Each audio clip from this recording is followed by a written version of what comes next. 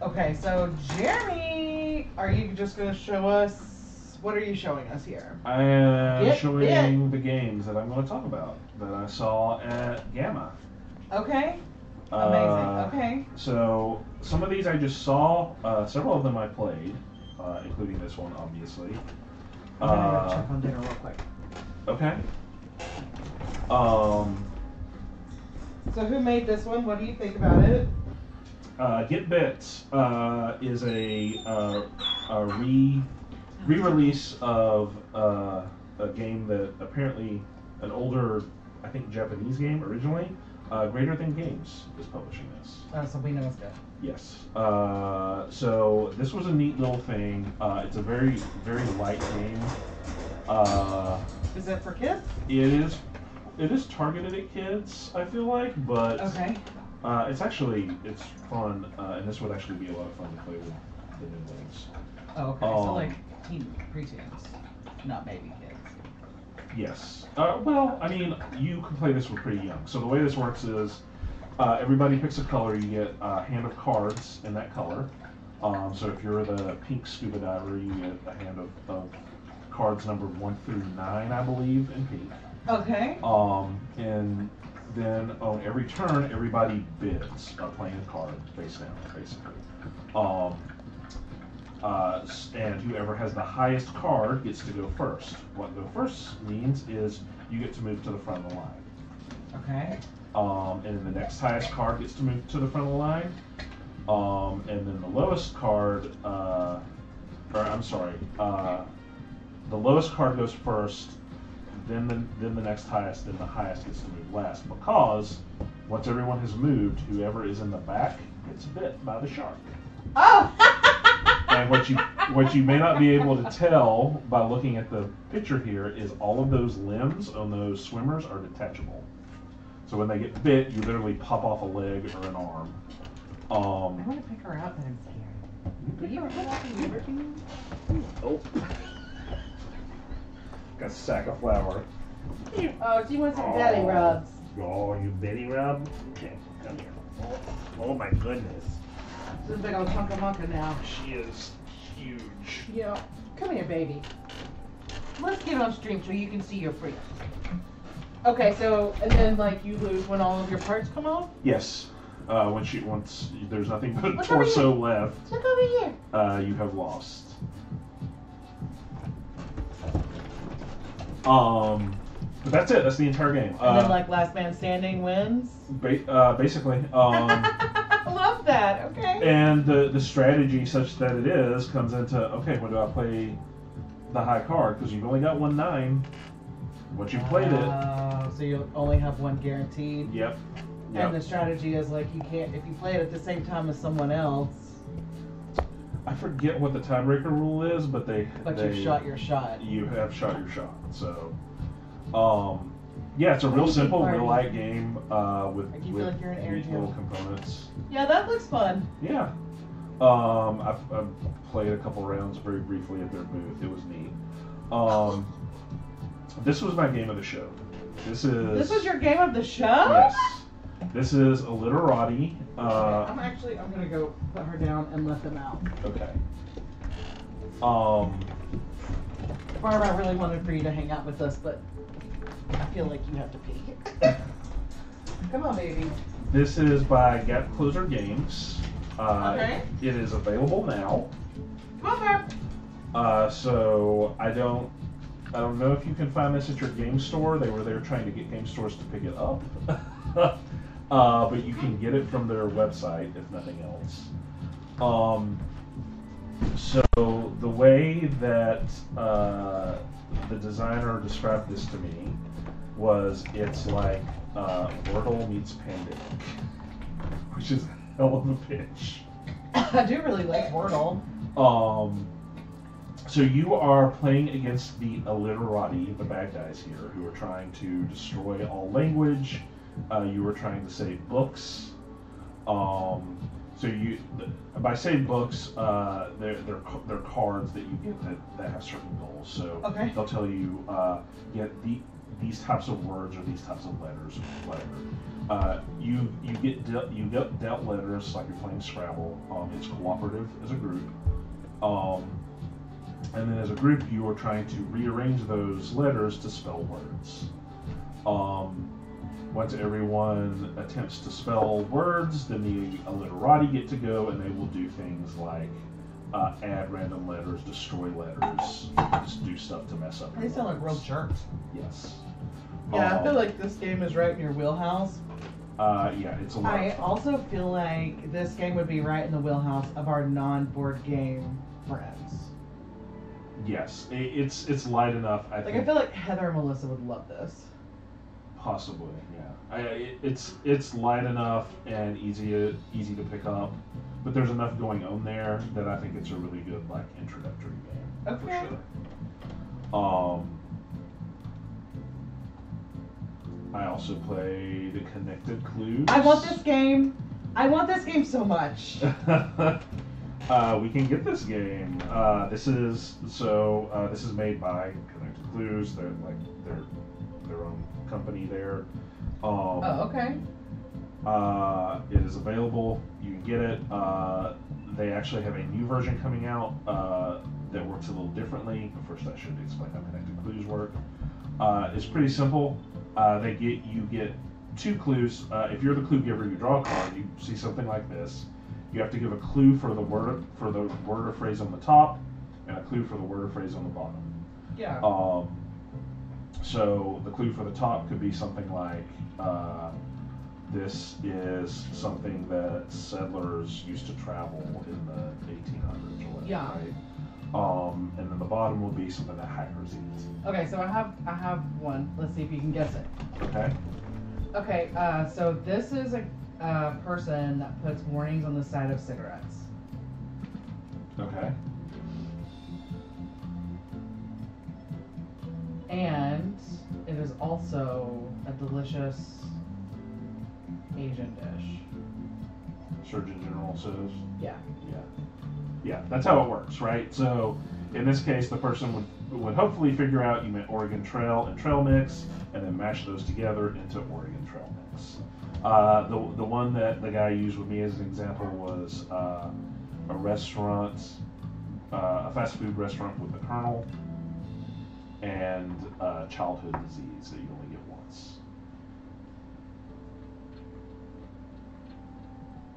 Kentucky Fried Chicken Pox. Yep. I was like, chicken measles. yes, chicken measles. Uh, so, uh, look, lots of party games are crap. this one has actually seems to have a decent hook. That's, that's yeah, I feel like this also would be fun, like in the car Yeah. To pass time. Um, the new one that they were showing off there uh, was um, uh, instead of this, it's things that rhyme. Yeah, that stresses me out. Um, yeah, I, I'll be honest, I didn't like it as much. Uh, it, it was still fun, uh, but I, I think this one is. Well, is as someone who speaks differently than most folks, like you'll notice I just said wool. like sometimes those rhyming games, they rhyme to me, yeah. but they don't rhyme to the English language. You feel me? yeah. okay, what do you got Um, next? I want this game, FYI. Okay. I don't think it costs that much. I, I couldn't tell I imagine like most but party games. I mean, we probably can get that guy on Target on their like half price day. Um. Oh, the Queen! Yeah, so this is For the Queen uh, from Darrington Press. Uh, I believe there are earlier, older versions of this. Uh, it's, an, it's a neat little role playing game. Uh, I know it's hard to tell that from looking at it because it's a deck of cards. Uh, but basically, uh, you, you have this deck of cards that give you situations. You, you are all retainers for this queen. Uh, you, you start the game by picking a queen. They, they give you a bunch of cards with different queens on them. You can see some of those here. Um, and you, you just pick these for flavor. They don't do anything to the game. You just say, you, you as a group decide, okay, who is our queen here? Um, and then you will flip over a card that will give you some sort of situation. Um, the example the guy there gave me was um, a card that said, uh, you are uh, aside from the queen, you are secretly in love with someone else at the court, uh, but you must keep it hidden. Uh, who it, who is it, and why are you hiding it from everyone else? And so it, it'll give you stuff like that, and then you will have to come up with a short little storytelling scenario, right? Um, every and everyone will go around doing this for several rounds, and then at the end of the game, it always ends the same way. You get the final card that says something along the lines of "the queen is under attack. Do you defend her or not, and why?" And that's how basically every game ends. So, does the box look like a book? Kind of, yeah. So the the big thing here for me is this had the most beautiful art of anything. Yeah, that art is something else. Yeah, and we were ac- actually talking to the art director, and I was like, "Dude, you have done such an incredible job on." Because I've seen older versions of this, and they look fine. Are they tarot size cards? Yes, they are. 'Cause it definitely has a tarot vibe. Yeah. Um. Yeah, I mean, this is this thing just looks beautiful. Um. Yeah, it does. So, uh, and that is coming out May 14th from Darrington Press. Okay. Um, Very excited for this one. This yes, one. this one we know. Uh, speaking of things we backed on Kickstarter, we have backed this. Uh, Wild Gardens from Rose Gauntlet. Uh, you are playing as foragers, going around foraging for ingredients um, and baking different dishes for friends and family. Um, it's it's another really really pretty game. Um, this does this does not do it justice justice when you see it all laid out on the table. Uh, first of all, it's kind of a table hog. There's lots of components. You can see that. Uh, yeah, but they're all very pretty and very colorful. I would expect um, nothing less out of Rose Gauntlet. Yeah. I Um, would expect nothing short of perfection. I think we've lost our music, by the way. Uh, Rose Gauntlet, amazing, amazing, amazing game designers. Oh, it's just a quiet time in the song, I guess. No, yeah, just yeah, yeah. There we go. Um, yeah, so uh, in a lot of these, uh, if if y'all want to see a better representation, I have posted uh, videos for a lot of these uh, YouTube shorts and on our Instagram channel Where can you Um, find us? showing these off. Uh, you can find us the same way everywhere. Elevation. underscore game. Correct. Um, on You YouTube, also can go to our Instagram. website, elevation.games. Yeah. Join our Um, Discord. With the link in bio. Yeah. I love how we're dropping all this during an ad. So Cosmic, who knows? That's okay. I mean, I'll turn this into a YouTube later. Okay. So, um, Hit us up. hit us up. Uh, Ooh, ooh. Yeah, Is so- this Elizabeth Hargrave? no. Uh, she does. She does have a mushroom game, but this is not her mushroom game. So Uh, mushrooms are just all the hotness right now. Yeah. Huh? Apparently, there's just a thing for mushrooms right now. Uh, this was like is foxes a couple years ago. Yeah. Yeah. Okay. uh, this is Mycelia from Ravensburger. Um, it is available now. I believe it actually came out last year, um, and they just have done another print run essentially. Uh, but this is something that should, in theory, uh, be in your local game store. Uh, so it is a. Uh, Do you have a close up of these cards? yes. They refer to Oh, this. Asking you shall Uh-huh. receive. they refer to this as an introductory deck builder. So it is it it's a light game that you can play with kids, um, but there's enough strategy there for it to be fun for adults as well. okay, so like Harry Potter Yes. card game, Yeah. Hogwarts battle, Um, but not problematic because who's mad at mushrooms? Nobody. uh, so you have these boards with these little dewdrops, and these are just little like um, glass pieces on here. Okay. Um, and the cards you play move these around, and you're trying to move them into this this symbol for your. Is it Othello with mushrooms? kind of maybe? Um, you, you're trying to get them onto this this tile that represents the shrine here. I think you called it. Oh, okay. and then they get added to this once they pop off the board. Um, and, that, and that's how you're scoring is by getting those dewdrops into this thing. Um, and so the cards you're playing move them around, and you're trying to get them in there. Um, And as they go in there, you'll get these leaves, which are your currency, which you can then use to buy more cards, right? Because it is a deck builder. Um, but yeah, that it, Fascinating. again, it was. I didn't get to play this one. I just saw it, but it was pitched to me as an intro deck builder, um, something that you could play light. Uh, I mean, the, the main selling point here is just that it's cute art. Um, and I it, love decks. it really is. Yeah, the art is great. Yes. The art is arting for sure. um, this is neat. Uh, this is a Paper app dungeon includes a pencil and a die. uh, not just a pencil and a, it A pencil a pencil die. as a die. Uh, they call it the P6. Uh, yes. So this is a neat little thing. I It's a see why you like those. it's it's a little. It literally costs ten bucks. Um, and this is coming out in April. Um, so uh, they come inside this box. You get the pencil, the, the P6, right? Uh, and the rest of it is in a little notebook like this. Um, and each page has a little dungeon that you are are working through. It's it's a roll and write. And you, you can use a regular die for this, but you can also roll the pencil, and the pencil has one through six on each of the sides. And so you can use it as your die and determine your moves with it, right? Um, the other neat thing here, So I could like just sit in a meeting yeah, and do a roll and write, and just people would just think ADD Wendy's rolling her pencil, but also taking good notes. potentially, yes. Uh.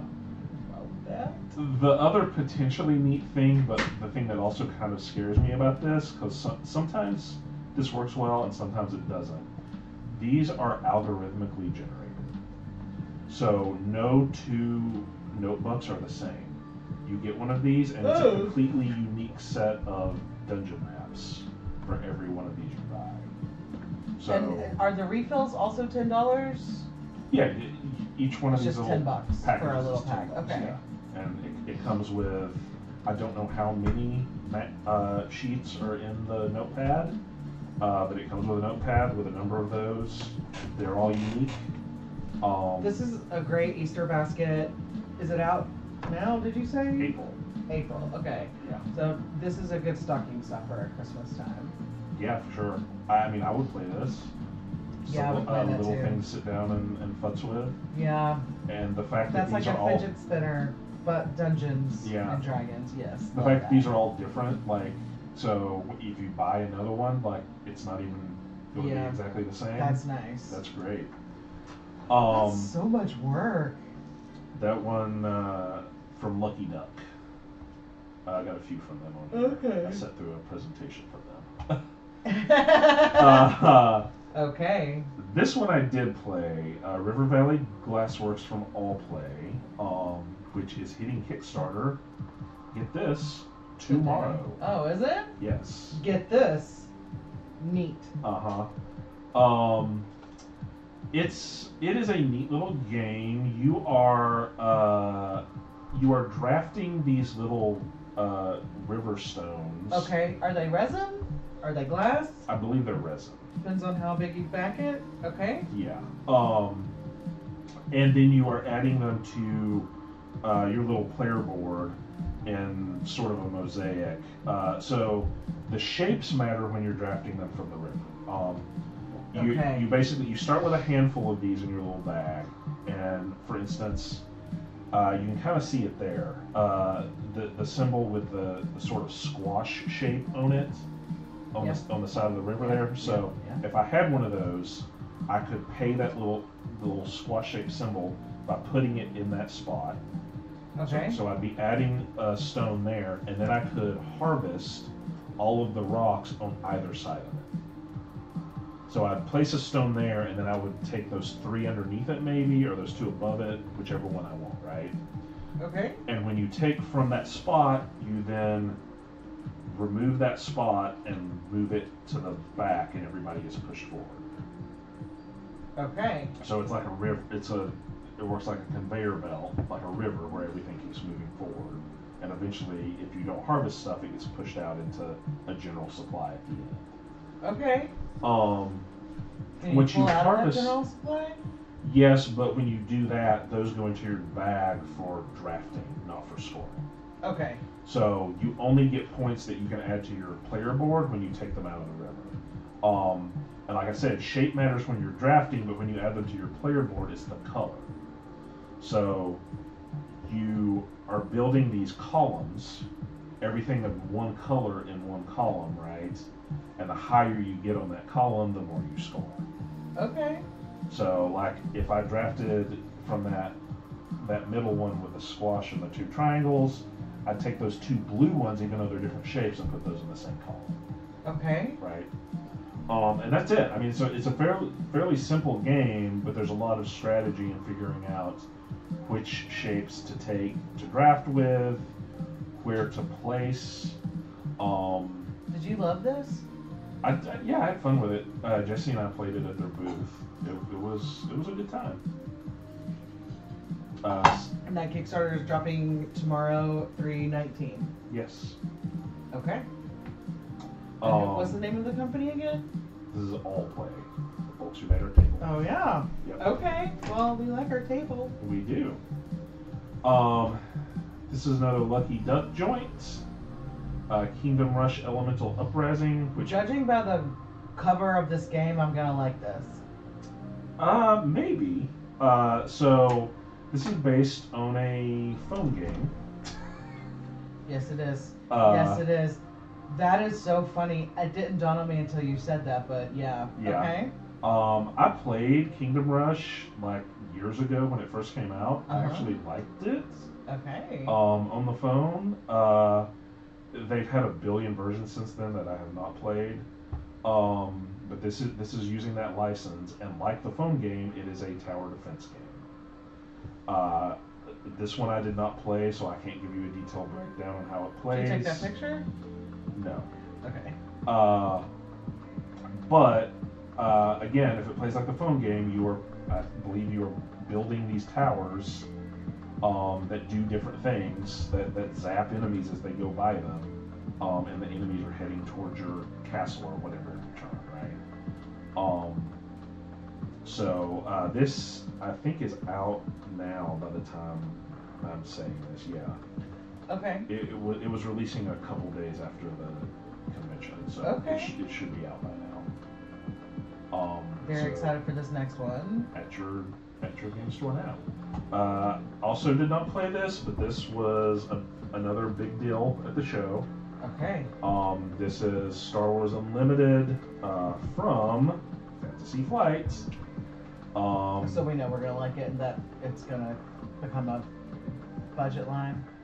Potentially. Uh, this is their new uh, Star Wars. I think this is an LCG. It's an Um, LCG. I think so. I don't think they do TCGs, Fan- Fantasy Flight. Um, but uh, the, I, TCG LCG. It's a deck build. It's a Star Wars deck builder, battler, magic like. Um, Again with the two-player map. Yep. Uh, I don't know exactly how it plays because I didn't get to play it. I was playing Altered instead. Um, but people are excited for it. I get the sense that it is similar in that it is a race. Okay. I, I don't think it works exactly this way. I think you're building up points in the middle, perhaps. Um, and the first one to a certain number wins. Okay. Um, that's all I know about it. Um, When's this dropping? Uh, this is out uh, now. Yes, available now. It was dropping like the second day I was at the convention. It was coming out, so they were pushing it hard. This was advertised everywhere. Oh, I bet. I bet. I bet. Um, So do you think that's what MJ was working on before she left? maybe So where is MJ now? Earthborn. Queen. Fucking queen. Okay. uh, we just played a game of this. Uh, this is altered. Obviously saw this while I was there. Got a copy of it. Uh, this is coming out in August. So August. you have to buy each person individually. If you're buying those starter packs from a game store, yes. If you back the Kickstarter, you may be getting all of this in, in a package. It just Okay. depends. Um, the, these are the starter decks for each of the heroes, and then I think. the And it looks are like the booster track packs. is like one solid piece, or are those cards too?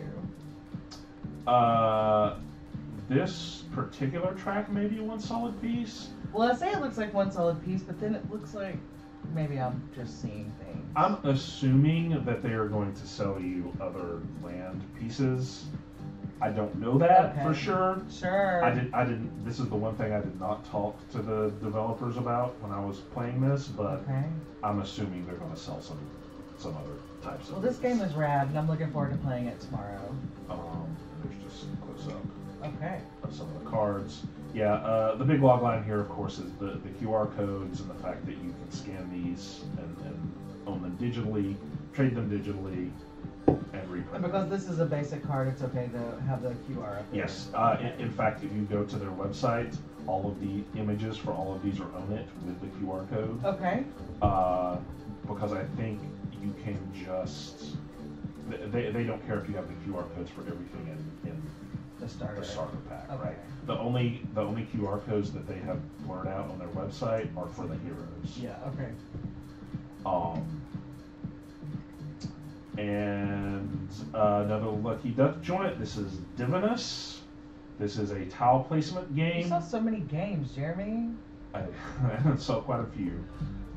This, uh, if you ever played Populous back in the day, you can probably tell just from looking at the art. This is very clearly inspired by Populous.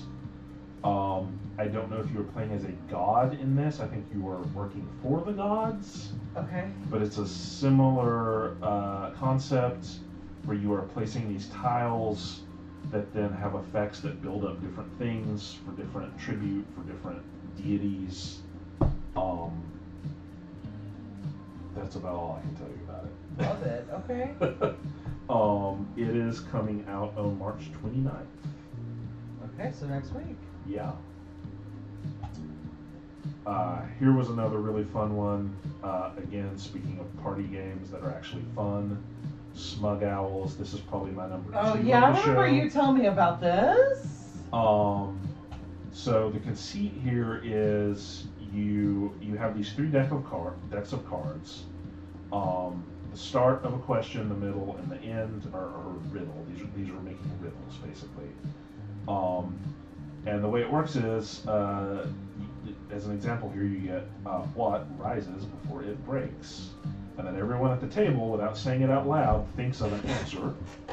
Once you have an answer, you put your hand down, and the last person who hasn't put their hand down yet becomes the smug owl, and they get to judge everyone's answers to the Okay. Do you have an answer to this? Because I have the Yeah. answer. Okay. What is your answer? a bubble? The beat.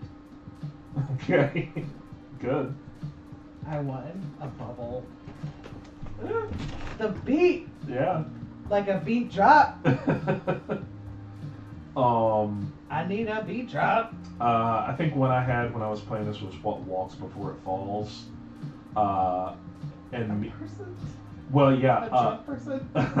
no, we didn't say a drunk person, but me and the other person both put our hands down immediately. Mhm. And the third, the third lady playing was like, "Oh, okay." Um, and uh, immediately, both of us, uh, I said a baby, and the other person said an old person. um, uh, but that's Smug Owls. That's out there now. Uh, you can go buy that from their website. Yeah, that seems fun. Yeah, th- and these people, uh, I'm trying not to let. I met some cool people. These are. This is a cool couple that I met there. They're North Carolina game designers. We love North Carolina. Um, and they were they were great. Okay. Um, Is this the last one? next No. to last. Okay. Um, so this one I did play. This is Stone Spire Architects from Thunderworks. Um, Thunderworks. It is coming out March. Everything had, had had said March, but no date. So hopefully March of 24? Yeah, yeah. Um, okay. This is from the people who brought you. Where is it? Right here. Oh. Okay. cartographers, and you can tell when you play this. This game is basically cartographers with cards instead of dice. Um, you get these cards, and then you, you're building a dungeon. Um, and you draft cards, Sushi Go style. Take one and pass. Um, and then you place them. Once everyone has drafted and passed, you place cards in your dungeon. You have different uh, scoring cards that tell you, like, hey, get points if you have a certain number of slimes or points if you have uh, dungeon rooms that have traps and monsters in them together, and, and those change every turn, right? Um, and so it's, it's giving you random goals that you're trying to meet. Uh, you have I don't you can't see it here. Uh, you can see the, the exit here. But there's also a little entrance token. And so the one rule is you have to have a road, a path, at least one path that connects the entrance all the way down to the end. I see a gelatinous cube. Yeah. Anytime you see the word gelatinous in a game, you know good times are coming. Um, I liked it. I had fun with this. Uh, Jesse hated this, but I had fun with it. Yeah, he did not like it. Um. I didn't know he could play a board game and not just.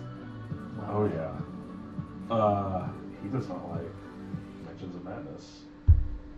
Uh, but he will cop to. He he will immediately tell you after he says that I'm an outlier. Everyone loves that game. You should absolutely get that game and play it. I just personally don't like Good it. Yeah. Yeah. Um. But I had fun with this. Okay. Um, Nestlings, uh, the final Lucky Duck game here, coming out in August. Very pretty. Um, about the only thing I can tell you about this is that the folks at Lucky Duck were very, very uh, adamant that this is not just Wingspan with dice.